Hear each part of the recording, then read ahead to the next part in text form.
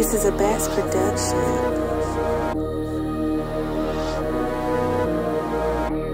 Why not you know?